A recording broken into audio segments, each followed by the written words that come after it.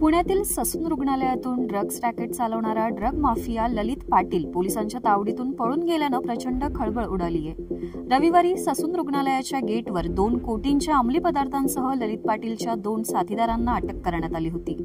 अटकेतील आरोपीकडून जर drugs racket चालवलं जात असेल आणि ते उघड होताच तो पळून जात असेल तर ते ससून रुग्णालयाचे व्यवस्थापन एरोडा कारागृह प्रशासन आणि पुणे पोलीस यांच्या संगनमताशिवाय शक्य आहे का असा प्रश्न उपस्थित होतोय. पोलिसांच्या अंमली पदार्थ विरोधी पथकानं हे ड्रग्ज रॅकेट उघडकीस आणून ललित पाटीलच्या दोन साथीदारांना ससूनच्या गेटवरच अटक केली. पण त्याच्या दुसऱ्याच दिवशी ललित पाटील ससूनमधून पळून गेल्यानं प्रचंड खळबळ उडाली अंमली पदार्थांची विक्रीच नाही तर मेफ्रेडॉन सारखा अंमली पदार्थ तयार करण्यात हातखंड असलेल्या ललित पाटीलला पुणे जिल्ह्यातील चाकणमधून दोन हजार वीस साली अंमली पदार्थांची विक्री करताना अटक करण्यात आली. त्याची एरवडा कारागृहात रवानगी करण्यात आली खरी पण एरवडा कारागृहातील अधिकाऱ्यांना हाताशी धरून त्यांना आजारी असल्याचं नाटक रचलं आणि या ससून रुग्णालयात उपचारांसाठी म्हणून त्याची रवानगी करण्यात आली. पण नेमका कुख्यात ड्रग तस्कर ललित पाटील ससून रुग्णालयातून कसा फरार झालाय याचा संपूर्ण घटनाक्रम हा पोलिसांनी सांगितलाय. काल संध्याकाळी साडेसातच्या दरम्यान ससून हॉस्पिटलमध्ये वॉर्ड नंबर सोळामध्ये येरवड्यामधून एम सी आरमध्ये असताना आरोपी हा जून दोन हजार तेवीसपासून उपचारासाठी सोळा नंबर वॉर्डमध्ये ॲडमिटेड होता.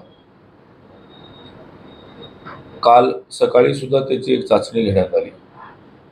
आज त्याच्यावर हार्नियाकरिता शस्त्रक्रिया होणार होती परंतु काल संध्याकाळी साडेसातच्या दरम्यान डॉक्टरांनी जेव्हा त्याला एक्सरेसाठी खाली नेण्याबाबत सांगितले तेव्हा आमचे नाईक पोलीस कॉन्स्टेबल काळे जे की कोर्ट आवर कंपनीमध्ये तेथे काम करत आहात आहेत ते त्या आरोपीला दुसऱ्या मजल्यावरून खाली जिन्याने घेऊन जाताना शेवटच्या पायरीच्या वरून त्या आरोपीने त्यांच्या अंगाला हाताला हिसका दिला आणि तो आरोपी त्या ठिकाणाहून ससूनमधून पोलिसांच्या रखवालीतून पळून गेलेला आहे. त्यानंतर काळे आणि त्यांच्यासोबतच्या अधिकारी अंमलदारांनी सुद्धा आणि गुन्हे शाखेच्या पोलीस स्टेशन बनगार्डनच्या अधिकारी अंमलदारांनी सदर आरोपीचा पुणे शहरात तसेच आजूबाजूला शोध घेतलेला आहे. आणि शोध चालूसुद्धा आहे.